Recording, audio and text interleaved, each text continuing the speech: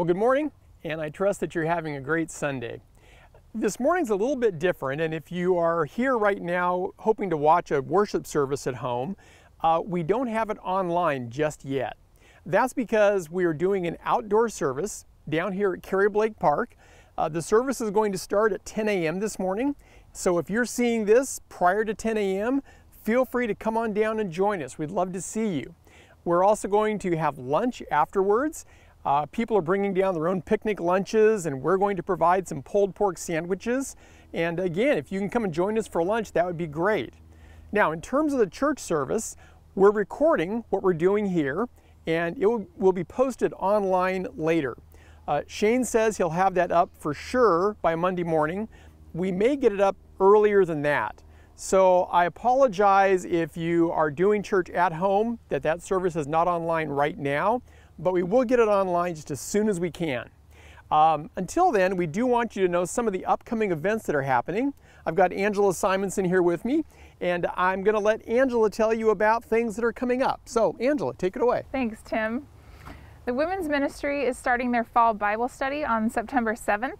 They're going to be going through Beth Moore's book, The One and Only Jesus. You can register online or contact the church office for more information. The Pacific Northwest Christian Surf Ministry is having an end of summer celebration. That's going to be on Saturday, September 11th from 11 a.m. to 3 p.m. and that's at Crescent Beach. And anyone is welcome to come and join in that fellowship. There's going to be a men's conference this fall in the DCC auditorium and that's on Saturday, September 11th from 9 to 12:30. Uh, the church office will be closed on Monday, August 30th, and resume normal hours on Tuesday, 8:30 a.m. to 4:30 p.m. As we transition into fall, we will continue having one church service every Sunday at 10 a.m. in the auditorium.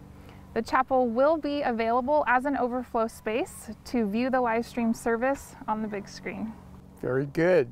So lots of things coming up this fall. In fact, there's more things we'll be telling you about in the days ahead. Uh, this morning, like I say, if you can, if there's time, come on down and join us for the live service here at Carrie Blake Park. And uh, otherwise, check back in a bit and we will have the service posted as soon as we can get it recorded and up online.